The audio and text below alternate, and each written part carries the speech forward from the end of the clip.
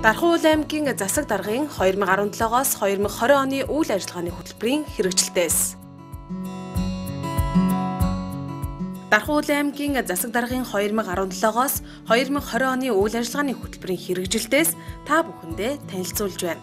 Тус хөтөлбөрт 8 бүлэг 11 дид бүлэг 139 зорилтын хүрээнд 307 арга хэмжээний хэрэгжилтийг ханган гүйцэтгэл 95.6% та байгаа нь төрийн байгууллагуудын олсон ололт хүрсэн үр дүн чамлахааргүй байгааг илтгэж байгаа юм. Монгол улсын хууль тогтоомч төрийн бодлого засгийн газрын үйл ажиллагааны хөтөлбөр аймгийн засаг даргын үйл ажиллагааны хөтөлбөрийг орон нутагтаа амжилттай сайн хэрэгжүүлсэн хэмээг манай аймгийг 2018 онд Монгол улсын засгийн газраас үнэлэн Шилдэг аймгаар тодруулан өргөмжөллөө. Мөн орхончууд нүүрийн хөдөлмөрийн үр шим ажлын амжилтаа үнэлүүлж улсын тэргүүний сум болсон юм. Энэ бүгд найрамдлаар өгүүлсэн дарханчууд бидний хамтын хүч билээ. Төрийн захиргааны удирдлагын хилтэс аймгийн засаг даргын тамгын газрын төрийн захиргааны удирдлагын хилцэн төрийн удирдлагын манлайллыг хэрэгжүүлэн нутгийн захиргааны байгууллагуудын үйл ажиллагааг боловсронгуй болгоход зөвлөгөө дэмжлэг үзүүлдэг байна. Мөн төрийн албанд сонгон шалгаруулах ажлыг зохион байгуулах, иргэдийн өргөдөл гомдлыг хүлээн авч шийдвэрлэх, түнц судалгаа шинжилгээг хийх, хууль тогтоомж засгийн газрын шийдвэр үндэсний хөтөлбөрийн биелэлтийг тооцон дүгнэх аймгийн гадаад харилцааны асуудлыг хариуцдаг юм а аймгийн хэмжээнд төрийн албан хаагчдыг чадварчуулах, төрийн албан хаагчдыг нийгмийн баталгаа хангах хөтөлбөрүүд хэрэгжиж байгаа. За бид жил бүр төрийн албан хаагчдыг чадварчуулах сургалтыг 10-аас доошгүй удаагийн давтамжтайгаар хийж хэвшигсэн. Тухайлбал бид удирдлагын академиас эрдэмтэн багш нарыг үрж хичээл заалгадаг. За сургалтанд хамрагдсан төрийн албан хаагчдыг сертификатжуулах арга хэмжээг авч хэрэгжүүлдэг байгаа. Төрийн албаны хуулийн шинжилсэн найруулгын хэрэгжилтэй холбоотойгоор төрийн албан хаагчдын мэдлэгийн суурь төвшинг тогтоох ажлаачлалд аймгийн хэмжээгээр төрийн албан хаагчд маань хангалттай үнэлгээ авч шалгагдсан байгаа. 2016 онд бид аймгийн хэмжээнд нийт 53948 өргөдөл гомдлыг хүлээж авсан. За ангилж үзэх юм бол хүсэл 51652 буюу 95.7% эзэлж байна. Санал 1608 буюу 2.9%, гомдол 688 буюу 1.2% эзэлж байсан. За бид 2017 онд 21302 өргөдөл гомдлыг аймгийн хэмжээнд хүлээж авсан байгаа. За эндээс хүсэлт 17649 буюу 82.85%, санал 632 буюу 296%, гомдол 3021 буюу 14.8%-ыг эзэлж байсан юм а. За 2018 онд 12526 өргөдөл гомдол хүлээж авсан. За хүсэлт 11096 буюу 88.5%-ийг, гомдол 924 буюу 7%-ийг, санал 506 буюу 4%-ийг тус тус эзэлж байна. Ингээд өргөдөл гомдлын э, хүлээн авсан байдлыг харахад бол 2016 оноос 18 оны хооронд бол тодорхой бууралцтай явж ирсэн байгаа. Төр иргэдийн хамтын уялдаа холбоог сайжруулах ажлын хүрээнд 2017 онд төрийн үйлчлэгээний нэг цэгийн төв шин байртаа боллоо. Тус төвд 9 байгууллага 146 төрлийн үйлчилгээг 130158 иргэнд үзүүлсэн байна. 2018 онд төрийн үйлчлэгээг иргэд рүү ойртуулах үүднээс Дархан сумын 7 дугаар багийн шин зах дотор нийтийн үйлчлэгээний нэгдсэн төвийг ашиглалтанд орууллаа.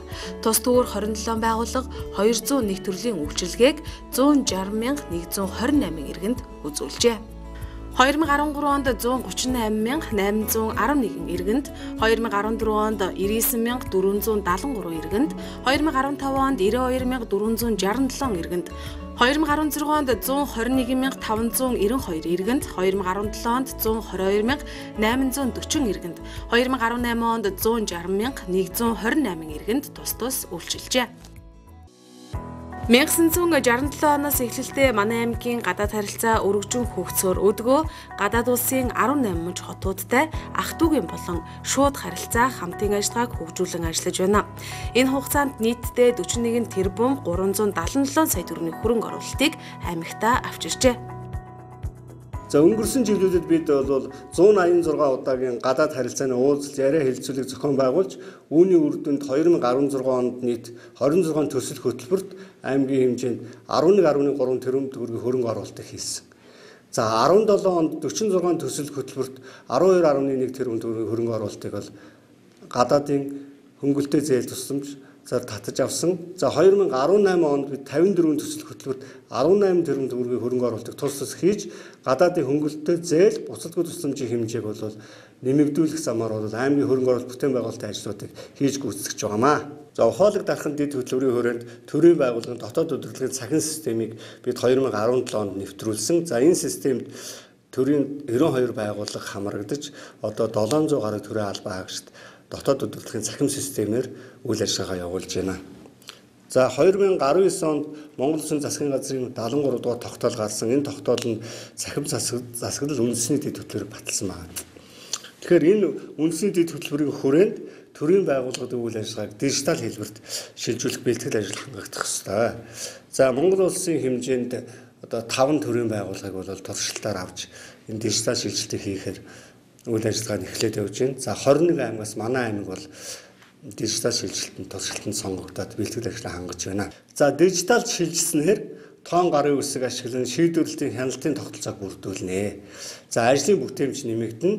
За мэдээллийн урсгалын хурд бол 10 дахин нэмэгдэх боломжтой байгаа. Бичих хэргийн зардлага 3 дахин бууруулна. За төрийн байгууллагын үйлчлэгийг цаазгүй хэлбэр шилжүүлэх ийм давуу талууд байгаамаа. За эдийн засгийн бодлогын өрсөлдөх чадварын судалгааны төвөөс аймагуудын өрсөлдөх чадварын судалгаа гаргадаг байгаа. За сүүлийн 2 жилийн судалгаагаар 21 аймагаас манай аймаг өрсөлдөх чадвараараа одоо тогтмол 2 дугаар байранд явж байгаа. Энэ үзүүлэлт маань бол манай аймаг эдийн засгийн хувьд бол одоо тодорхой өсөлттэй явж байгаа гэдгийг харуулж байгаамаа. За 2019 оныг Монгол Улсын засгийн газраас иргэн төвтэй төрийн үйлчлэгээний жил болгон зарласан. За мөн иргэдэд үзүүлэх төрийн анхан шатны үйлчлэгийг чанаржуулах зорилгоор багийн хөгжлийг дэмжинэ гэсэн төрийн бодлогын хүрээнд бид дархан сумын 11, 12, 14 дугаар багийн үйлчлэгээний нэгдсэн төвийн байруудыг ашиглалтанд хүлээн авах бэлтгэл ажилд хангагдаад байна. За мөн дархан сумын 13, 14, 16 дугаар багийн үйлчлэгээний нэгдсэн төвийн байрыг барилга өсөлттэй ажил 30% гүйцэтгэлтэй явж байна. За мөн дархан сумын 4, 5, 6 өргөө багуудын багийн үйлчлэгээний нэгдсэн төвийн байрыг худалдаа авах ажиллагааны нээлттэй цахим тендер зарлагдсан байна. За мөн дархан сумын 9 10 дугаар багийн үйлчлэгээний нэгдсэн төвийн байруудыг одоо шинээр барихаар цахим тендерийг зарласан. Малчин багийн хөдөлгөх хороололд багийн үйлчлэгээний нэгдсэн төв за халуун усны барилгыг орон нутгийн төсвийн хөрөнгө оруулалтаар барих барих бэлтгэл ажил бол хангагдж байна. Хууль эрх зүйн хэлтэс Аливаа хууль тогтоомжийн хэрэгжилтийг сайжруулж, авилга, ашиг сонирхлын зөрчилдөд тууштай тэмцэн, гэмт хэрэгээс урьдчилан сэргийлэх ажлын үр нөлөөг дээшлүүлэх замаар иргэдийн аюулгүй орчинд амьдрах баталгааг хангахын төлөө ажилладаг хууль эрх зүйн хэлтэс 11 зорилт 25 арга хэмжээ хэрэгжүүлэхээр зорилт тавьжээ. Тус зорилтын хэрэгжилт өнөөдрийн байдлаар 95.2% гүйцэтгэлтэй байна. Өнгөрсөн 2018 онд бол хөрөнгө оруулалтын чиглэлээр шарын гол суманд одоо үйл ажиллагаанд нь зориулж Пүрүс 20 маркийн машиныг 14.5 сая төгрөгөөр орон нутгийн төсвөөс гаргасан мөн Дархуул аймгийн цагдаагийн газраа эрүүлжүүлэх байрны баримтлах байрны э, шугамыг олоо солих зайлшгүй шаардлага гарсан учраас орон нутгийн төсвөөс бол 4.1 сая төгрөгийг гаргаж үйл ажиллагаа нь одоо хэвэн явагдаж байна. Улсын төсвийн хөрөнгө оруулалтаар Дархуул Улаанбаатар хотын авто замын э, цагдаагийн хяналтын постыг одоо 77 сая төгрөгөөр аймгийн цагдаагийн газарт бол УАЗ програм маркийн автомашиныг 29 сая төгрөгөөр тус тус нийлүүлээд одоо өнөөдрийн байдлаар цагдаагийн газрын албаагч маань энэ байранд ол үйл ажиллагаагаа явуулаад байж байна. 2019 оны 1-р удирлын байдлаар бол гинтэрээс урьдсан сэргийлэх цагдаагийн албаагчдыг ажиллах хэвийн нөхцөл байдлыг хангах зорилгоор бичлэг хийх тийм боломжтой орчин үеийн техник тоног төхөөрөмжөөр одоо хангагдсан болно. Эрүүжүүлэх байрны нөхцөл байдлыг одоо сайжруулах зорилгоор 21.7 сая төгрөгийн төслөөр байрны одоо сантехникийн мөн давхар засаж өгсөн байгаа. Э, ашигт малтны тухай хууль зөрчсөн явдал манай орон нутагт нэлээд их байдаг. За энийг одоо таслан зогсоох зорилгоор хонгор суманд байдаг. Цэхэр зөөрөм хүүтний голын их газарт одоо цагдаагийн алба багцд маань ажиллаад зөрчил гаргасан техник тоног төхөөрөмжийг хураан авч шарын голын цагдаагийн газарт бол саатуулагч зөрчлийг арилгуулах э, журмаар үйл ажиллагаагаа явуулсан. Шүүхэн шийдвэр гүйцэтгэх газрын ерөнхий газрын харьяа хаалттай хорих 435 дугаар анги байдаг. За түүнд хоригдож байгаа одоо ялтнуудыг ажлын байраар хангах зорилгоор төсөл хөтөлбөрийн өрөөнд 3.5 сая төгрөг гарч одоо дөрвөн улирлыг хүлэмжийн одоо байрсан байгаа. Төрийн архивд маань нийтдээ бол 188 байгууллагын одоо баримт бичиг одоо хадгалагдчих байдаг. 2019 оны 1-р улиралд одоо орон нутгийн төсөв хөрөнгөөс 5 сая төгрөг гаргаж 6 ширхэг одоо нэвтрүүлсэн шүүхэг одоо өнөөдрийн байдлаар байрлуулад хадгаламжийн нэгжүүдэд байршуулад ингээд архивын одоо баримт материал стандартын дагуу нэвтрүүлсэн шүүгэнд хадгалагдаж хэвийн иргэдэд одоо үйлчлэгээ үзүүлэхэд хэвийн нөхцлөөр хангахтай байна. Архивыг цахим санд оруулах ийм хөтөлбөр засгийн газрын тогтоолын дагуу хэрэгжээд явж байгаа. Энэ хөтөлбөрийн хүрээнд одоо нийтдээ 107 байгууллагын 7423 хадгаламжийн нэгжиг сканердэж цахим санд оруулаад байна.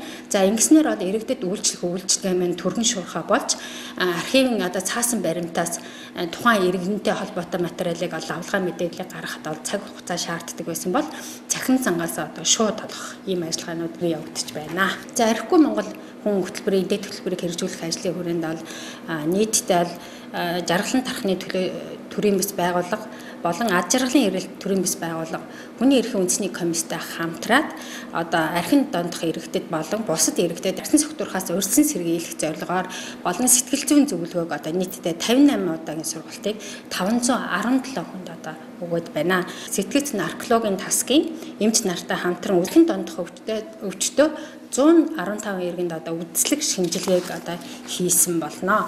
Мөн шинжилгээний үр дүнд болохоор 24 архин донтох өвчтөй этгээдэг алавтан болон архинаас ангижрах хэмжлэгэнд хамруулж 19 хүнийг болохоор эдгэрүүлсэн. За үүнээс бол дөрвөн хүнийг одоо байнгын ажлын байраар одоо хангаад байна. А мөн 11 иргэнийг бол төр ажлын байраар одоо тус тус 2018 онд хангасан. Мөн эв нэгдэл ирээдүй бас байгууллага бол архин дондох өвчтөй ийм иргэдэг одоо цуглуулад боржуур блок хийж а эдгээр иргэдэг бол төр ажлын байраар хангасан нь бол энэ архин дондох өвчтөй иргэд маань арх уух уух тийм боломжийг хангахгүй ажлын байраар хангасан бас энэ үр дүнтэй ажил болоод байна. Ингэснээр бол одоо архин дондох өвчтөй өвчтөй гэсэн бүртгэлтэй 115 хүнээс 96 хүн бол архинаас ангижирт 16.5 хувиар одоо архин дондох өвчтөй иргэдийн тоолол буурсан ийм эерэг үзүүлэлт харагдаад байна. Иргэний эрх зүйн боловсрал аймгийн дэд хөтөлбөрийн өрөөнд нийтдээ одоо төрийн албан агчид болон иргэдэд зориулт 14 сэдвээр 161 албан агчдад болон иргэдийн төлөөлөгчдөд хурлын тэргүүлэгчдэд сургалт одоо явуулсан өнгөрсөн оны мөн үетэй харьцуулахад 4.1 хувиараа тийм өссөн үзүүлэлттэйгээр үзүүлэлтээ одоо дүгнэгдсэн нь хамгийн эерэг бас үзүүлэлт гарч ирж байгаа. Энэ нь болохоор иргэдийн эрх зүйн боловсролыг ол дээшлүүлэх иргэд маань өөрт хэрэгцээтэй хууль эрх зүйн мэдлэгтэй болох энэ одоо зорилго маань одоо хангаагдчих байна. Жилд нэг удаа нээлттэй хаалганы хуулийн байгууллагуудын нээлттэй хаалганы өдрийг зохион байгуулдаг байсан бол энэ жил одоо дөрвөн удаа бүр дөрвөн суманд очиж нээлттэй хаалганы өдрийг зохион байгуулах юм ажлын төлөвлөгөө өдөрдөмж гараад ажиллаж байна. Дархан бол аймагт улсын төсвийн хөрөнгөөр бол Дархан сумын 6 7 8 9 дугаар багуудад бол 300 сая төгрөгийн камерын сурлуултын үйл ажиллагаа явагдах болохоор төсөв нь одоо улсын төсөв цугтаад батлагдсан байгаа. Тендер одоо шалгаруулалт явагдана. За ингэж 300 сая төгрөгөөр одоо камер суулгаснаар Тархуул аймгийн хэмжээнд одоо гинт хэргийн илрүүлэлтийг одоо түргэн шуурхаа олж иргэдэд одоо үйлчлэх үйлчлэгийн нам түргэн шуурхаа болно гэдэгт одоо итгэлтэй байгаа. За гэр бүлийн хөгжлийг дэмжих хүрээнд хуулийн байгууллагууд болон хүүхэд гэр бүл залуучуудын гэлтцтэйгээ хамтраад гэр бүлийн хүчирхээлээс урьдчилан сэргийлэх чиглэлээр төлөвлөгөөт сургалтуудыг зохион байгуулна. А мөн хамтарсан баг хамтарсан багуудыг одоо дэмжих чиглэлээр вакуумжуулсан сургалтыг ингээд зохион байгуулах үйл ажиллагаа явуулахаар удирдамж төлөвлөгөө маань батлагдаад энэ ажил маань одоо хэрэгжиж эхлэхэд одоо бэлэн болоод байна. Санхүү төрийн сангийн хилдэс Санхүү төрийн сангийн хилцэн аймгийн төсвийн төлөвлөлт бүрдүүлэлт, хуваарлалт, төрийн сангийн зарлага, санхүүжилтийг гүйцэтгэх, төрийн сангийн үйл ажиллагаанд дотоод хяналтыг хэрэгжүүлэх, татврын орлогын төлөвлөлт, татвар хураалтын ажлыг зохион байгуулах, засаг даргын дэргэдэх ангитлгуудын төсөв санхүүгийн орлого, зарлагын үйл ажиллагаанд байнгын хяналтыг тавин ажилладаг юм а. За Дархан уул аймгийн төсвийн орлогын талаар та бүхэнд танилцуулъя. Тэгээ 2016 онд орон нутгийн төсвийн нийт орлого төлөвлөгөөгөөр 20 орны 3 тэрбум төгрөг төрлүүлэхээс гүйцэтгэлээр 21 тэрбум төгрөг буюу 103.8% биелэлттэй 770.5 сая төгрөгөөр. За 2017 онд 23.7 тэрбум төгрөг төлөвлөхөөс 24.2 тэрбум төгрөг буюу 102.5% биелэлтэйгээр 587.8 сая төгрөг. 2018 онд орон нутгийн төсвийн нийт орлого төлөвлөгөөр 24.1 тэрбум төлрүүлэхээс 25.4 тэрбум төгрөг буюу 105.4%-ийн 1 тэрбум 305.1 сая төгрөгийг давуулан биелүүлсэн үнэтэйгээр ажиллалаа. Төсвийн орлогыг төргийн шуурхаа бүрдүүлж татварын орлогын таслыг нөхөх зорилгоор төсвийн байгууллагуудын хэрэгсэн дулаан цахилгааны төлбөрийг холбогдох байгууллагуудаа хамтран орон нутгийн төсөвт 2016 онд 1.6 тэрбум төгрөг 2017 онд 2.4 тэрбум төгрөг, 2018 онд 2.4 тэрбум төгрөг, 2019 оны 3 сарын байдлаар 881.9 сая төгрөгийг хоорондын тооцоогоор хийж гүйцэтгэн татвар төлбөр хураамжийг түргэн багдуулахад бол хамтран ажиллалаа. Орон нутгийн төсөв 2013 оноос бүтцэнд бол өөрчлөлт орсон байгаа төсвийн тухай хуулиар за энд орон нутгийн орлогод эзэлж байгаа хувь хэмжээгээр нь танилцуулъя. За энд хувийн орлогын албанд татвар 74%, хөрөнгийн албанд татвар 11%, автовер өөрийн хүчирхлийн татвар 7%, за бусад татвар төлбөр хураамж 8% байна. Дархан уул аймгийн хүн ам өсгийн хэрээр за мөн иргэдэд төрөөс үзүүлж байгаа үйлчлэх юм өргөжинд хэлж байна. За энэ Дархан уул аймгийн төсвийн зарлага орон нутгийн төсөв 2016 онд 19.2 тэрбум байсан бол 19 онд 27.4 болж өссөн байна. Тусгай зорилтын шилжүүлэг 16 онд 31.8 байсан бол 19 онд 34 болж болсон байна. Төсвийн зарлага бол тэлсэн. За энэ хэмжээгээр бол төрөөс иргэдэд төрийн үйлчлэгээ бол нэмэгдэж алж байна. Аж ахуйн нэгж байгууллагуудын санхүүгийн тайлан хүлээн авч баталгаажуулдаг байгаа. Хүлээн авалтын эрсдэл маань 2018 онд 87.4% хүрч тайлан тушаасан байгууллагын өмнөх оноос 532 байгууллага юу 8.5% нэмэгдсэн юм үзүүлэлттэй бол байна. За 87.4% гэдэг бол улсын хэмжээнд бол нэгт орж байгаа ийм үзүүлэлт байгаа. Хяналт шинжилгээ үнэлгээ дотоод аудитыг хэлтэс. Хяналт шинжилгээ үнэлгээ дотоод аудитыг хэлсэн нутгийн захиргааны удирдлагын манлайллыг хангах, үйл ажиллагааны үр дүнг дээшлүүлэхэд хяналт шинжилгээ үнэлгээний ажлыг чиглүүлж ажиллах үндсэн үүргийг гүйцэтгэдэг. Басын газрын хэрэглэх газраас 19 оног эргэн төвтөө төр үүсгэний жил болгон зарласан энэ хөрөөнд төрийн байгууллагууд чанарын менежментийн стандарт боловсруулах чиглэлээр зорилт дэвшүүлсэн байгаа. Энэ зорилтын хүрээнд засгийн газрын хэрэг хазын даргын тушаалаар ажлын хэсэг байгуулагдсан. А судалгааны богийн гол зорилго бол яам агентлаг аймаг нийслэл сум дүүрэг баг хороонд туршилтын ажил хийж нэгдсэн стандарт боловсруулах тийм чиглэлтэй энэ ажлын хүрээнд энэ судалгааны объектэд Дархуул аймгийн засаг даргын хамгийн газар Орхон сумын засаг даргын намын газар тэгээд Дархан сумын 14 дугаар баг орсон. Манай аймгийн сонгож авсан гол шалтгаан бол олон улсын стандартыг манай аймаг тамгийн газар нэвтрүүлсэн. Дээр нь манай сум нэвтрүүлсэн учраас за мөн засгийн газар хэлэх газар Монголын бүтээжийн төв хамтраад нутгийн удирдлагын байгууллагын бүтээмжийн үнэг байдлын талаарх том хилцэл манай аймаг зохион байгуулсан. Энэ хэлцүүлэгт 13 аймаг орцож энэ хэлцүүлэх үеэрээ бид нэр аймгийн хэмжээнд айсын нэвтрүүлсэн туршлагаа ярилцаж ямар амжилт өгсөн талаар нэлээд дэлгэнгүй байдлаар мэдээлэл өгч туршлага хуваалцсан байгаа аймагуудтай. Засгийн газрын хэрэглэх газараас манай аймагт том том туршил судалгааны ажлууд хийгдэж байгаа нь дарханжууд бидний болон манай там газрын хамт олонны маань ажил хөдөлмөр бас мууган үнэлж байна гэж ойлгож байна. Ингээд цааш цаашаа бидний хийж байгаа ажил маань бусад аймагуудад үлгэр жишээ болж ажиллах нь бол бидний хувьд бас бахархах бас сайхан олд амжилт юм а гэж хэлхийг хүсэж байна. Дархан үйл аймаг 2016 онд чанарын менежментийн тогтолцооны ISO 9001 2015 олон улсын стандартыг үйл ажиллагаанд нэвтрүүлж орон нутгийн төрийн захиргааны байгууллага болсноороо анхдагч болж чадлаа. За ISO 9001 2000 стандартыг бид үйл ажиллагаанд нэвтрүүлснээр ажил үйлчилгээндээ дараах үр дүн өрнөлөөг бид бол үзээд байна. Нэгдүгээрт нь бид чанарын бодлого зорилтыг байгууллагынхаа алсын хараа эрхэм зорилгод нийцүүлэн тодорхойлж чадлаа. Үйл явцын зураглалуудтай боллоо. Энэ зураглалаа үндэслээд тухайн албаагч юуг ямар дараалал хэрхэн гүйцэтгэх вэ гэдгийг мэдэх боломжтой болсон. Үйл явцыг стандартчлах эхлэл бол бий болсон байгаа. Цаашид тасралтгүй сайжруулах боломжтой болсон байгаа. За төрийн албаагч бүр заавар дүрм журмыг үйл ажиллагаандаа мөрддөг болсон стандартын хүрээнд бодлогын баримт бичгүүд эрх зүйн баримт бичгүүдтэй болсон байгаа. За төрийн албан хаагч бүрт шинэ хандлага бол бий болсон. Энэ бол маш гол үр дүнгээ үзүүлсэн байгаа. За мөн бодлого үйл ажиллагаанд үйл ажиллагаагаа тасралтгүй сайжруулдаг болсон. Яагаад тэгэхээр бид үйл ажиллагаандаа төлөөл, хий, шалга, сайжруул гэсэн зарчмыг бол гол олгож ажиллаж байгаа. Энэ хүрээндээ бол тасралтгүй сайжруулах боломжтой болсон гэдэг маань бас ихээхэн үр дүнг бол биднэрт өгсөн байгаа. Бид энэхүү стандартыг үйл ажиллагаандаа нэвтрүүлснээр 2016-аас 18 онуудад ололт амжилтыг бол нэлийн улсын хэмжээнд бол үнэлэгдэхүйс ололт амжилтыг бол ихээхэн үзүүлж ирлээ. Мөн төрийн байгууллагын цахим хуудасны ил тод байдлын судалгаанд манай аймгийн засаг даргын тамгын газар маань дөрөвдүгээр байранд ирэмблэгдэж өмнөх оны амжилтаа бол ахиулж чадлаа. Тухайн байгууллагын нөө цахим хуудасны ил тод байдлыг дөрвөн шалгуур үзүүлэлтээр хүрээгээр үнэлдэг байгаа. Энэ дээр Дархуул аймгийн засаг даргын тамгын газар маань 2 дугаар байранд орсон амжилтыг бол үзүүлсэн байгаа.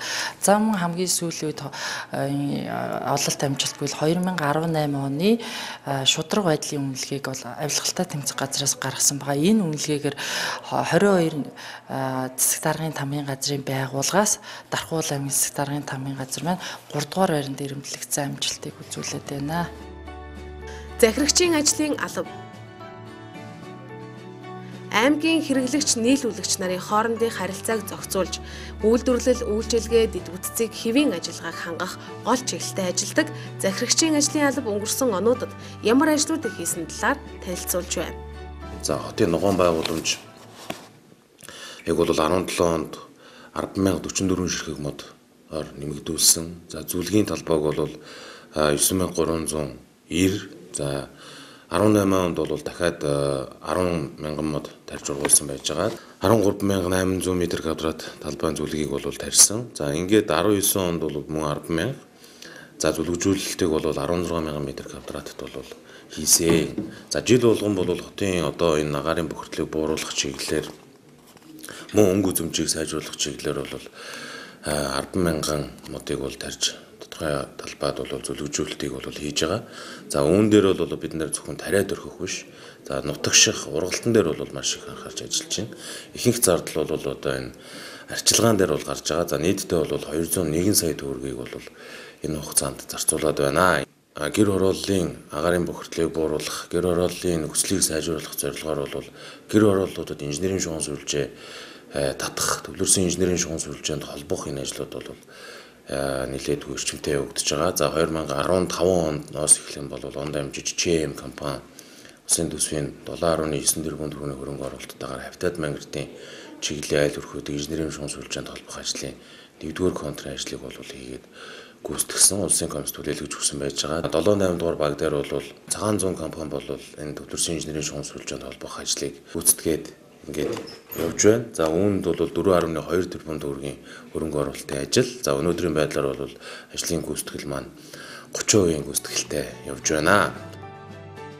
Хуам нэмэгдгийн хэрээр орон сууцны хорооллууд сүндэрлэн босож түүнийг дагаад инженерийн шугам сүлжээг шинжилэн засварлах ажлууд үе шаттайгаар үргэлжлэн явагдаж байна. 2013 онд 913.4 сая төгрөг, 2014 онд 950 сая төгрөг, 2015 онд 10.4 тэрбум төгрөг, 2016 онд 335.5 сая төгрөг, 2017 онд 12.2 тэрбум төгрөг, 2018 онд 12.6 тэрбум төгрөгийн инженерийн шугам сүлжээг тус тус засварлав болжээ.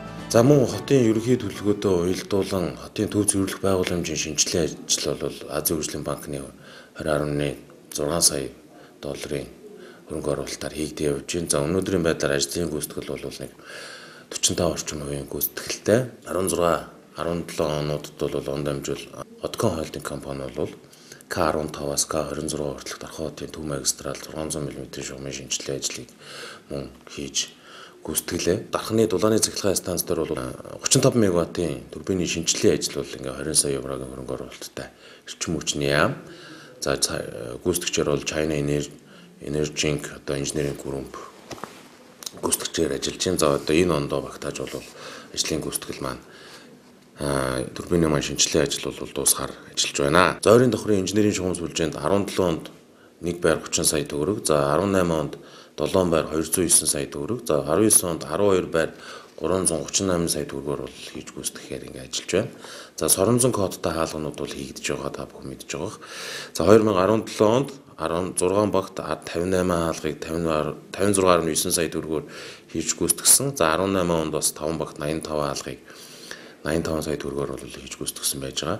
За Чингэлгэн хогийн савын ажил бол энэ хоггүй хот болохын одоо зорилтын хүрээнд бол 17 18 онд бол нийтдээ 34 ширхэг хогийн савыг бол байршуулсан. За энэ жил мөн 7 ширхэг хогийн савыг бол одоо байршуулчаад байж байна. За 17 онд нийтдээ 3 байрны 6 блокт цэвэрлэгээ үйлчлэгээ ариутгал хийгдсэн болвол 18 онд 21 байрны 40 блокт бол энэ ортон шавжийг устгах хариуцлага үйлчлэгээнүүдийг бол хийж гүйцэтгсэн байна. Хог тээвэр за шарилжгүй дархан ажлын хүрээнд бол нийтийн хувьчлагын газар дээр маань 18 онд орон нутгийн төсвийн хөрөнгөөр 2 ширхэг шахдаг машин Оросын холбооны улсад үйлдвэрлэсэн МАЗ маркийн автомашиныг 138.1 сая төгрөгөөр нийлүүлж парк шинжилгээний ажлуудыг бол хийсэн байж байгаа.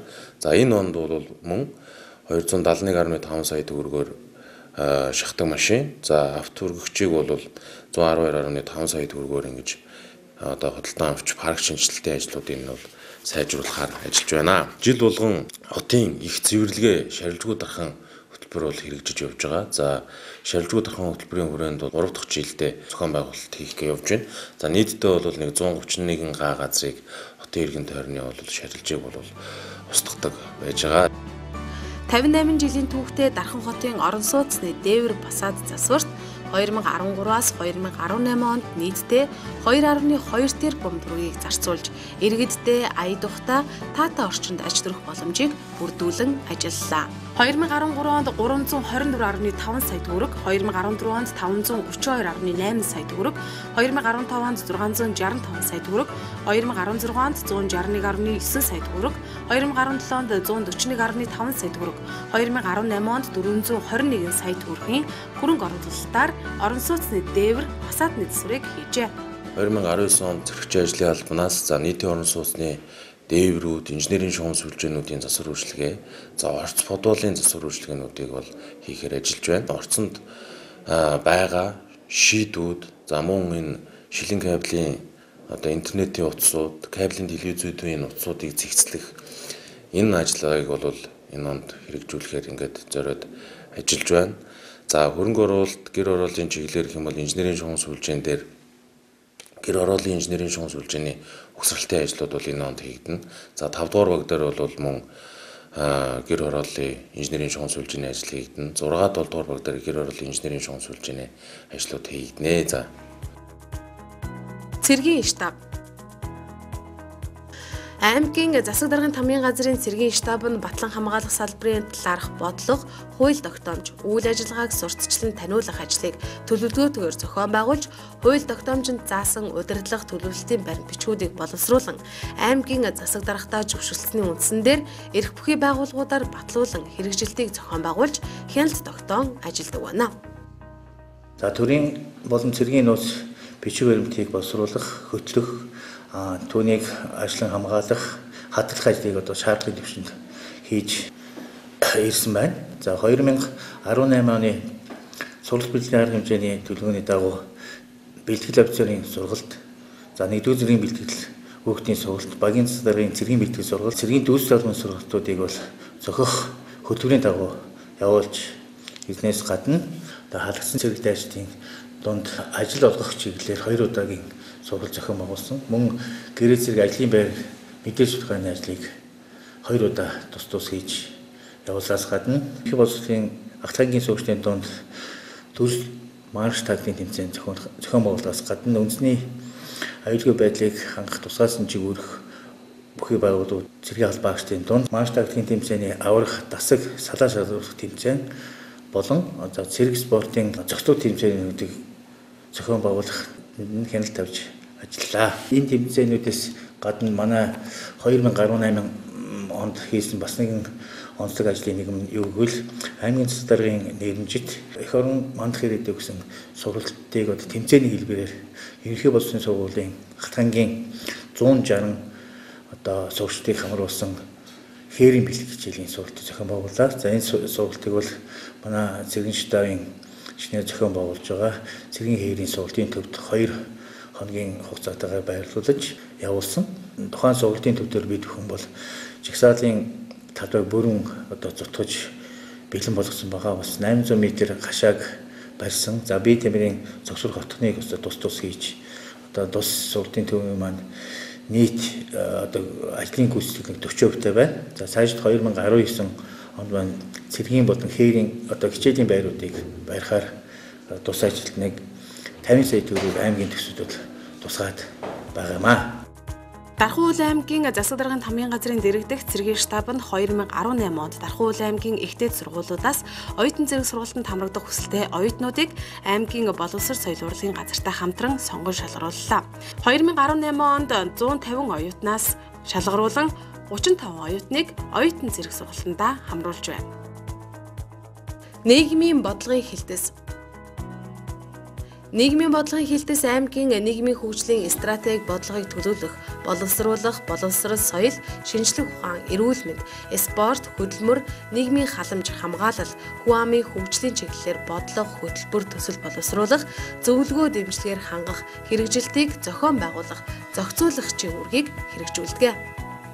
За өнгөрсөн 2017 онд гэх юм бол 27 төсөл хөтөлбөрийг нийтдээ 37.3 сая төгрөгийн санхүүжилтээр дэмжин хэрэгжүүлснээр ардын өв уламжлалыг хүүхэд багчуудаа түгээн дэлгэрүүлэх хүүхэд багчуудынхаа соён гэгэрүүлж тэдний хөгжлийг дэмжих за мөн түүнчлэн тэдний хичээл сургалт ээлтэй орчин бүрдүүлж эрүүл мэндийн төсөмж үйлчилгээний зарим төрлүүдийг нэмэгдүүлэх чиглэлээр ирэх аж ахуйн нэгж байгууллагын дэмжлэгтэйгээр төслүүдийг хэрэгжүүлдэг. Түн нийгмийн түншлэлийн хүрээнд олон улсын байгууллагуудтай хамтран ажиллах гэрээг аймгийн цэг даргын зүгээс хийж за ингэснээрээ Томбоско олон улсын байгууллагын дэмжлэгтэйгээр дархны оюутнууд дархандаа сурсан тохиолдолд жил бүр сургалтын тэтгэлэг хөтөлбөрүүдийг 17 оноос хэрэгжүүлж эхлэв байна.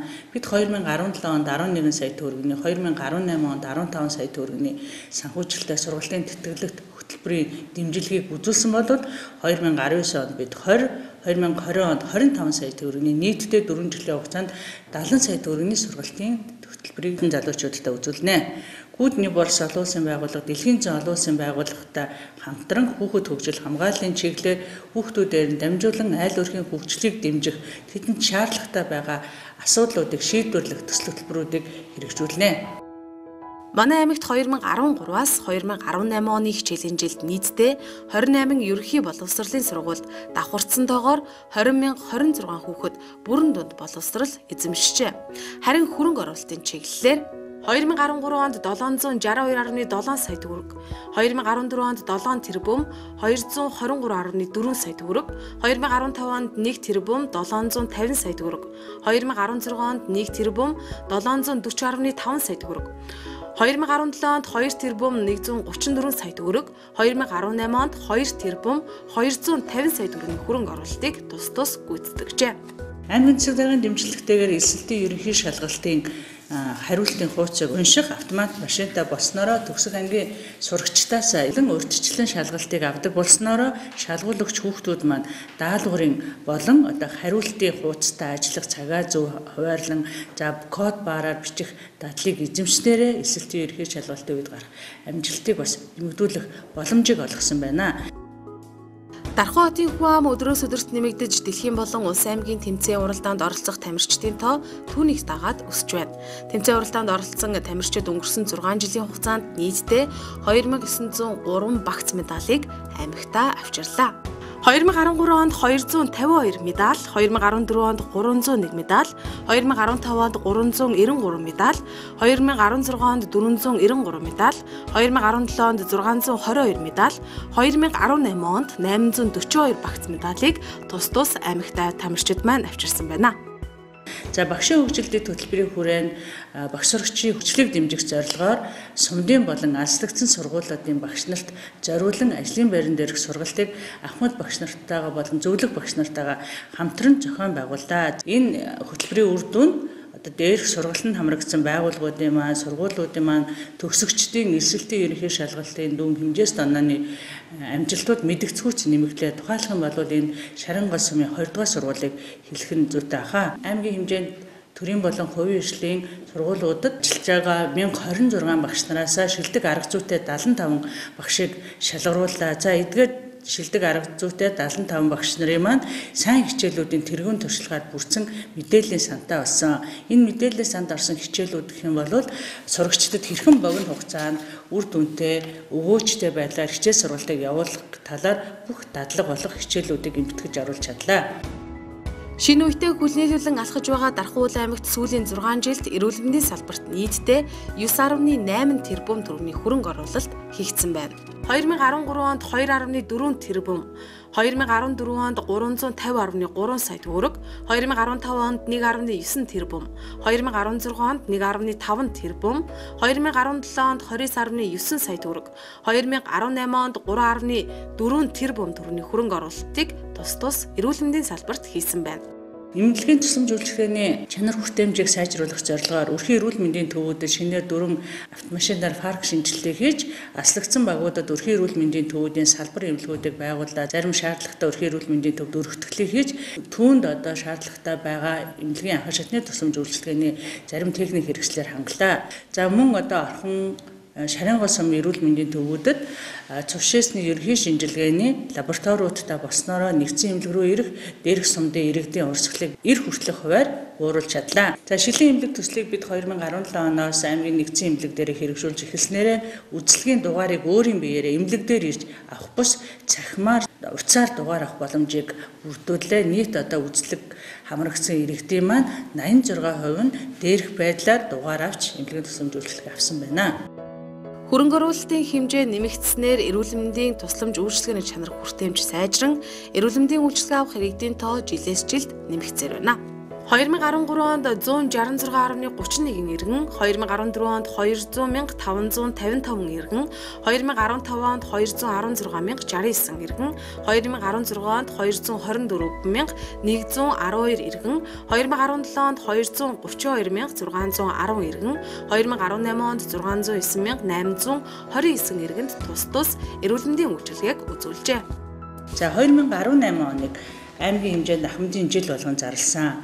Энэ хүрээндээ бид нар ахмадын зөвлөх багийг байгуулж за эдгээр зөвлөх багууд маань аймгийн хэмжээнд хийгдэж байгаа хөрөнгө оруулалтын ажлууд мөн одоо зөв даргын үйл ажиллагааны хөтөлбөр тусгагдсан ажлууд за төрийн үйлчилгээ газар дээр хэрхэн яаж хүрч байгаатай танилцж улмаар дээрх мэдээллийг ахмадуудтай түгээн дэлгэрүүлэх ажлыг хариуцсан хийсэн болно. 2018 онд аймгийн хэмжээнд харьяалалгүй байгаа 7000 гаруй ахмадуудаас 3452 ахмадыг харьяалалтай болголоо. Ахмадын гүнд совилол засвар үйлчилгээг хийж гүйцэтгснээрээ тухайн одоо амралтын амралт цэвэрлэлтэд ээлж бүрч явах ахмадын автобустай боллоо 2019 онд ахмадуудтай үйлчлэх ахмадуудын маань э, чөлөө цагийг зөв боловсон өнгөрүүлэх хэрэгцээ шаардлагатай тусламж үйлчлэгийг үзүүлэх геронтологийн төвийг байгуулахаар бэлтгэл ажлыг ханган ажиллаж байна.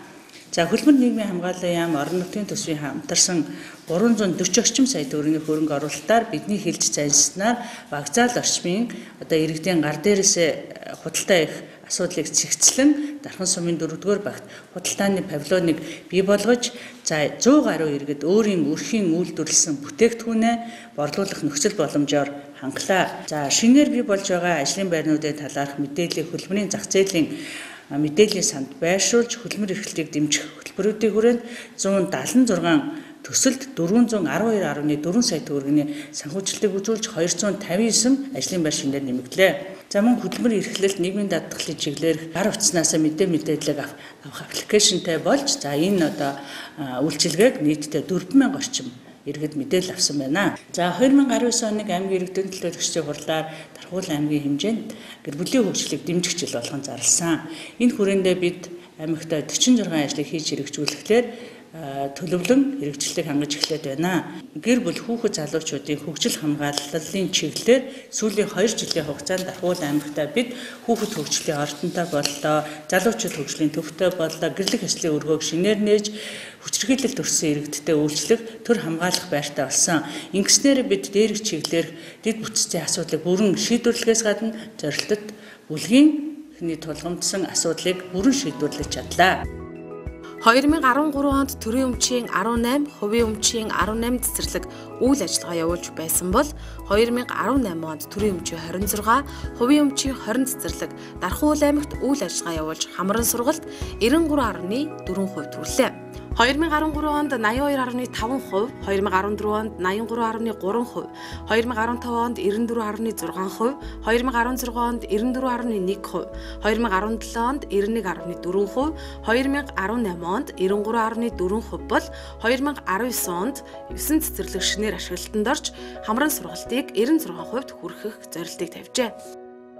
Бид 2019 онд 3 6 7 за мөн 15 дугаар багуудад цэцэрлэгийн өргөтгөлийг хийж 4 9 дугаар багуудад цэцэрлэгийн засвар их засварын ажлыг бүрэн гүйцэтгэж Нархан сумын 15 дугаар баг Хонгор суманд тус бүртээ 150 ортой цэцэрлэгийг шинээр ашиглалтанд оруулж 2019-с 20 оны хичээлийн жилд цэцэрлэгийн хамралтыг бид 96%-д хүргэнэ. За орон нутгийн хэмжээнд төдийгүй Монголдо томоохон тооцогдох спорт цогцлбарын маань ажил өнөөдрийн байдлаар 80 гаруй хувьтай байна. За 2060 хүний судалтай их заал бүхий бэлтгэлийн танхимуудтай за мөн 140 хүний судалтай 5 замтай усан бассейн бүхий AB блокуудыг бид 2019 онд ашиглалтанд оруулна. Ингэснээр дарханчууд маань орчин үеийн спортын заал танхимд спорт спортоор хичээлэх төдийгүй олон улсын чанартай уралдаан тэмцээнүүдийг орон нутагтаа зохион байгуулах боломжтой болж байгаа юм а. Хөрөнгө оруулалт хөгжлийн бодлого төлөвлөлтийн хэлтэс Хөрөнгө оруулалт хөгжлийн бодлого төлөвлөлтийн хэлтсэн үндэсний хөгжлийн цогц бодлогын хэрэгжилтийг орон нутагт хангуулах, аймгийн эдийн засгийг хөгжүүлэх, урт, дунд, богино хугацааны бодлого боловсруулах, хэрэгжүүлэх үйл ажиллагааг төлөвлөх, үр дүнг тооцох, хөрөнгө оруулалтын үр өгөөжийг дээшлүүлэх, бодит үйлдвэрлэлийн салбарыг хөгжүүлэх гүүргийг гүйцэтгэдэг байна. За дархан хотын хөгжлийн ерөнхий төлөвлөгөөг 2035 он хүртэлх төлөвлөгөө бол зохиогдоод ингээд мэрэгжлийн байгууллагаар хийгдэж байгаа энэ хотел үлтийн чиглэлийн Art Contraction гэдэг компани бол энэ дахин төлөлтийн ажлыг бол сүүлийн жилүүдэд одоо барилга тоглолтын яамны хөрөнгө оруулалтаар одоо ингээ хийгээд ингээ явж байгаа. А энэ ажил дээр бол хотын хөгжлийг одоо хааш нь яаж тэлэх үү, сууршил үйлдвэрлэлийн бүс нь аль хэсэгтэй байх юм, ирээдүйд одоо орон сууцны сууршилж бол хаагур байх юм, зам дэд үстэд нь хаана байх юм, энд одоо байгаа энэ дэд үстээ сайжруулах, өөрөгдөх үү гэдэг ийм чиглэлийн одоо нэгдсэн бодлого бол гардаг. За мөн энэ 2017-оос 19 онуудад бол нэг 12 байршил дээр 38.1 тэрбум төгрөгийн 762 айлын орон сууц бол шинээр одоо ингээ ашиглалтанд орсон байна. Дахин төлөлтийн ажлын хүрээнд тэгсэн нэг шинэлэг ажил нь бол төр барилга буюу одоо бараак барилга гэж бидний хэлж байсан. Энэ барилгуудыг бол орчин үеийн шинэ өндөр орон сууцны хороол буюу тэр орон сууцлоо шилжүүлэх ажлыг бол төлөвлөлт хийж ингэж ажиллаж байна. Энэ чиглэлээр бол хоёр чиглэлийн үйл ажиллагаа явагдаж байна. Хувийн хвшлийг дэмжиж тухайн газар чөлөөлөх ажлын процедурыг хийж, хувийн хвшил хөрөнгө гаргаж барилгаа барих чиглэлээр бол дөрөвдүгээр багийн нутагт хоёр гурван банкыг одоо болгох ажил бол тендер зарлагдаад гүйцэтгэгчийн шалгараад одоо ингээд ажил нь хэрэгжиж эхлээд ингээд зөв зөвхөн ороод ингээд явж байна. Мөн үнэтэй зэрэгцүүлээд 2018 оноос хэрэгжсэн манай нэг төсөл байна. Энэ бол төсвийн хөрөнгө оруулалтаар 6 дугаар нутагт 61 дугаар банкыг буулгаж одоо таван давхар 60 айлын орон сууцыг шинээр барих ажлыг дээд ингээ явагдаж байна. Одоо энэ оны 6 дугаар сард бол гэрийн дагуу ашиглалтанд оруулах ингэснээр бол одоо тэр бараг хотгонд амьдарч байгаа ашиглалтын шаардлага хангахгүй уулгах шаардлагатай гэсэн ийм эрхлийн хяналтын дүгнэлт орсон барилгууд бол богдож дөрөвцөөсөө ийм ард иргэд нь орчин үеийн өндөр орон сууцнд амьдрах юм боломж төслөөр хангаж ингэж ажиллаж байна. Малын удмын сангийн үндэсний цогцлол бол улсын төсвийн хөрөнгө оруулалтаар бол хийгдэж байгаа. Энэ бол 22.3 га газар дээр нэг 16.2 тэрбум төгрөгөөр одоо юм бүтээн байгуулалтын ажил хийгдээд үйл ажиллагаа нь одоо бол жигдрээд ингээ явах цаашдаа юм малын генетик санг одоо бол баяжуулах, хөгжүүлэх, өндөр гойд ашигчтай мал сүргийг одоо өсгөх, үржүүлэх Монгол улсын хэмжээнд ийм арга хэмжээ болох юм тамга зөвхөн манай аймгийн хэмжээнд бий болж байна. За мөн энэтэй уялдуулаад газар тариалангийн бүс нутагт эрчимсэн мал аж ахуй хөгжүүлэх чиглэлээр бол засгийн газрын тогтоол гарч эрчимсэн мал аж ахуйн чиглэлээр манай аймаг тодорхой бас төсөл хөтөлбөрүүд хэрэгжүүлж бас үр дүнтэй ажлууд явуулж ихтэн гэдэг дөрөв оноос их нэг ингэж эхэлж байгаа. Эрчимсэн мал аж ахуйн чиглэлээр 776 га газрыг бол үйлдвэрлэлийн зорилтоор авч одоо энэ дээр одоо дэд үз татах За энэ дээр одоо мах сууны чиглэлийн өхрийн ферм бий болгох. За тэгэл дахиад гахааны туслах аж ахуй чиглэлээр одоо хөгжүүлэх ийм юмнууд бол бас үе шаттай хийж байна. Ногоон байгууламжаа нэмэгдүүлэх бүх нийтийн мод тарих үндэсний өдрийг тохиолдуулан өнгөрсөн 5 жилийн дүнгээр нийтдээ 387.7 сая төгрөгийн хөрөнгө оруулалтаар ногоон байгууламж мод Ботсуугийг тарьсан байна. 2013 онд 52696 ширхэг, 2014 онд 69097 ширхэг, 2015 онд 101527 ширхэг, 2016 онд 40199 ширхэг, 2017 онд 22191 ширхэг, 2018 онд 88302 ширхэг мод бутсуугийг тарьсан байна. За байгаль орчны чиглэлээр бол жилдээ нөгөө 0.3 тэрбум төгрөгийн туслах хэмжээг бол хэрэгжүүлж ингэж ажиллаж байна. За энэ ажлын хүрээнд хэрэгжсэн бас манай аймагт ирсэн томоохон нэг төсөл нь бол бүгд найрамдах Чехословак улсын хамтын ажиллагааны хүрээнд одоо боцлогоо тусламжаар хэрэгжсэн. Монгол орны ой болон орон нутгийн он генетикийн сангийн хөгжил 2015-аас 18 гэсэн юм төсөл бол Тархан уул аймагт бол амжилттай хэрэгжээд ингээд дууссан. За энэ төслийн хүрээнд бол 100 мянга гаруй одоо мод тарьц суулгачийг бол дэвшилт технологиор бол ингээд бойжуулаад үржүүлэх юм чадвартай аж ахуйн нэгжүүлээд Тархан уул аймагт одоо шарын гол сумд одоо үсээд үйл ажиллагаа явуулаад ингээд чигтрээд явж байна. Худалдаа үйлчлэгээний чиглэлээр бол томоохон худалдаа үйлчлэгээний төвүүдэд манад бол ашиглалтанд одоо орж хувийн хвшлийн хөрөнгө оруулалтаар төгөх гээд худалдаа үйлчлэгээний төв бол 2000 энэ 19 оны эхний үйлрэлтэд ашиглалтанд орлоо. Үйлүүн их буюу оргил худалдааны төвийн салбарууд одоо улс бүтээн байгуулалтын ажил нь хийгдээд нэлээд үр дүн өндөртөө үүсгэл бол 70 80%-аас давцсан гэж явж байна. За ер нь энэ жил жилдээ хөрөнгө оруулалтын хэмжээ бол улсын төсөв, орон нутгийн төсөвс бол нэмэгдэж явж байна. 2013 онд 44.9 тэрбум төгрөгийн хөрөнгө оруулалтаас 44.1 тэрбум 2014 онд 49.6 тэрбум төгрөгийн хөрөнгө оруулалтаас 48.8 тэрбум 2015 онд 23.8 тэрбум төгрөгийн хөрөнгө оруулалтаас 22.1 тэрбум 2016 онд 17.5 тэрбум төгрөгийн хөрөнгө оруулалтаас 16.2 тэрбум 2017 онд 18 тэрбум төгрөгийн хөрөнгө оруулалтаас 17.3 тэрбум 2018 онд 39.5 тэрбум төгрөгийн хөрөнгө оруулалтаас 38.2 тэрбум төгрөгийн тус тус хөрөнгө оруулалтыг гүйцэтгэсэн байна. 2019 онд 78.3 тэрбум төгрөгийн хөрөнгө оруулалт бүтээн байгуулалтын ажил хийхээр төлөвлөж байна. За энэ 19 онд хийгдэх ажлыг одоо замын салбар дээр бол нэлээд төлхөө хөрөнгө тавигдсан. Энэ улсын төсвийн хөрөнгө оруулалтаас бол хотын доторх зам дээр бол дөрвөн чиглэлд замын засварын ажил хийгдэхээр ингэж хийгдэж байгаа. Ширээн нурууны бүр хүртэлх замыг бол урд жилүүдэд бид нар бол давхар хүчилтаар буюу шинжилэлтээр за замын урсгал өргөдгөх уулзуур ийм гарцыг одоо нэвтрэх чадварыг одоо сайжруулах чиглэлээр ажлууд ингээ үе шаттай хийж ирснийг үргэлжил болгоод хараагийн гүрний ширээн нуруу чиглэл 1.7 км зам одоо энэ онд мөн шинээр тавигдана За тэр 6 7 8 дугаар багиллуу бол аймгийн төсвийн хөрөнгө оруулалтаар бас 2 км зам тавьсны үргэлжлэл нь одоо энэ онд ингээ хэрэгжээд хийгдээд явна. За 15 дугаар багиллуу аймгийн төсвийн хөрөнгөөр урд нэгжсэн дээр 8 км замын үргэлжлэл үе одоо энэ шин дархан хуучин дархныг холбосон шин замын үргэлжлэлийг бол мөн хийгээд ингээ хэрэгжүүлэх төсөл арга хэмжээ явагдаж байна. А мөн энэс томоохон бас нэг хөрөнгө оруулалт нь бол хөдөөгийн одоо 3 сумынх нь нэг сум нь бол хатуучлаа замаар холбогдоагүй байсан. Энэний зөрөг төсөв бол эрт хийгдсэн 2013 онд тэгсэн зөрөг төсөв. Өнөөдөр одоо улсын төсөвтөр хөрөнгө нь тодорхой хөрөнгө суугаад энэ ажил энэ онд ингээ эхлэхэд тендер зарлагдаад ингээ явагдаж байна. За Дархан Улаанбаатар чиглэлийн авто замын шинжилгээ ажил бол нэлээд үр дүнтэй ингэж Азийн хөгжлийн банк болон дэлхийн банкны санхүүжилтээр бас гэрээ эзэл хийгдээд дөрвөн игнэтэй хоёр тус тусдаа урсгалтай ийм авто зам хийх юм ажил бол энэ онд бол гараагаа эхлэх бас энэ сайхан мэдээ байна. Нийт эзэмшлийн гудамж талбай, орон сууц болон гэр хороолол нийт 2 тэрбум 430 сая төгрөгийн хөрөнгө оруулалтаар 1507 ширхэг гэрэлтүүлгийг шинээр суйрлууллаа. 2014 онд 560 ширхэг, 2015 онд 267 ширхэг, 2016 онд 227 ширхэг, 2017 онд 168 ширхэг, 2018 онд 285 ширхэгийн гэрэлтүүлгийг шинээр суйрлуулжээ.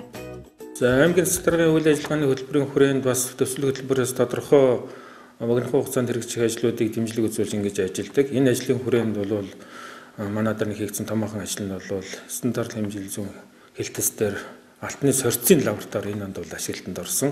2018 оноос сүүлийн улирлаас эхэлж хэрэгжээд энэ онд гэхэд одоо 148 кг малтыг бол энд бол сорц тогтоогоод ийм ажиллагаа хийгдсэн. Энэ бол ард иргэдээс бол нэлээд их өндөр үнэлгээ авж байгаа цаг хүч хөрөнгө одоо хэмнэсэн юм зүв зүйтэй ажил боллоо гэж ингээд үлдэгдээд явж байна. За мөн үнэтэй зэрэгцээд хүүхд залуучуудын соёл амралтын одоо зохицлыг шинээр байгуулах ажил бол миний Монгол засаг хүрээлэнд бол 2018 оноос төлөвлөгдөд ингээ хэрэгжиж явж байна. Миний Монгол засаг хүрээлэн бол одоо хотын одоо нийтэд шууршлагын эзэмшилд байдаг газар нутагтай ийм хотын одоо цэцэрлэг түрээлэн энэ маань одоо нэг өөрөө 45 га газар нутгийг бол хамарсан юм юм байдаг. Энийн одоо 8.4 га дээр бол орчин үеийн Disneyland маягийн тийм паркийн үйл ажиллагаа явуулах тийм ажлыг бол аймгийн төсвийн хөрөнгө оруулалтаас 1.2 тэрбум төгрөгөөр бол хамгийн эрэлт хэрэгцээтэй 6 тоглоомыг одоо сонголт хийж авчирсан. За энэнийг одоо менежментийн бол хувийн байгууллагаар хийлгэж одоо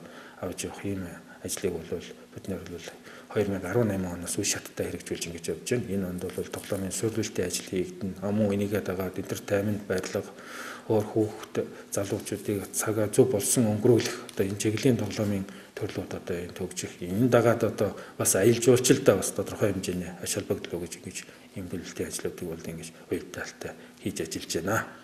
Аймгийн ус цагуур байгаль орчны шинжилгээний газраас бол бас нэлээдгүй ажлыг энэ хугацаанд бол хийж байна. Агарын бохирдлыг одоо бууруулах чиглэлээр агарын одоо бохирдол гаргаж байгаа яндангийн буюу зуухны одоо хүчин чадлын тооллогыг бол жил болгон үе шаттай хэрэгжүүлж энэндээ бас суурилж төлөвлөлтөөр үүсэн агарын бохирдол бууруулах одоо бүрэн шаталтаа зуухны нийлүүлэх одоо мөн үүнээс шаашлаад бол одоо орчны бохирдолд буюу хөрсний ус хөрсний бохирдолтыг хэмждэг багц танд төхөөрөмжийг мөн энэ төсөл хөтөлбөрийн хүрээнд тодорхой сангуучлалт хийж авч одоо ингэж хөгжүүлж ингэж явж байна. Мөн дээр нь одоо байгаль орчны яамнаас агарын бохирдлыг бууруулах сангаас нь 200 сая төгрөг амиг төгрөглөгдөж ирсэн. Энийн одоо нэг 50 сая төгрөгөөр мөн тэр одоо хөрсөө шинжилдэг, хөрсний бохирдлыг одоо энд лабораторид үзээд ингээ гаргацдаг ийм ажлуудыг мөн хийж байна. За мөн цаг уурчны шинжилгээний газраас бол сүүлийн жилүүдийн цаг уурын одоо дулаарлалттай холбоотой бороо хур багт байгааг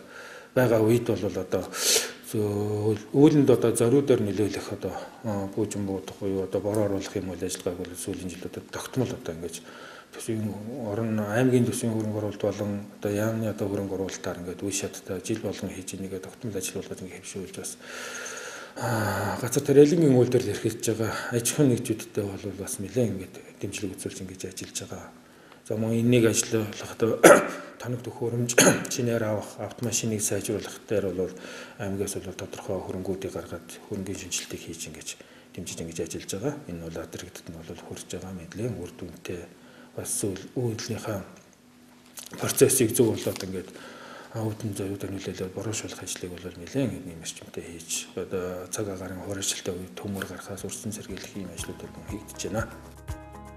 Ийхүү залуусын гих тодтголтой Дархуул аймаг өнгөрсөн он жилүүдэд төр төрийн бас байгууллага иргэдийнхээ хамтын уялдаа холбоог сайжруулан төрлөх хоттой хөрөнгө оруулалт, бүтээн байгуулалтын ажлыг эрчимжүүлж, аяд ухтаа дохлог таатай орчин, эерэг үзүүлэлт бүхнийг хамтдаа хийж чадлаа.